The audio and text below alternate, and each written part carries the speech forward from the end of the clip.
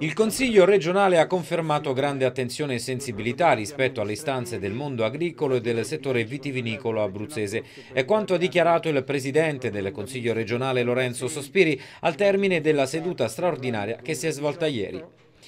Dopo un'ampia discussione l'Assemblea legislativa ha infatti approvato sia il documento presentato dal centrodestra che impegna la Giunta a farsi portavoce del mondo agricolo abruzzese in sede di governo nazionale e in Europa, sia quello dell'opposizione.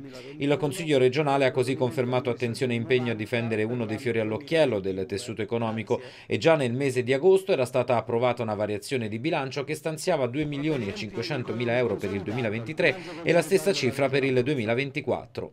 Durante la seduta seduta. Poi sono stati richiesti anche interventi strutturali per contrastare i danni derivanti dai cambiamenti climatici, iniziativa però tutt'altro che apprezzata dalla consigliera di Forza Italia Sara Marcozzi.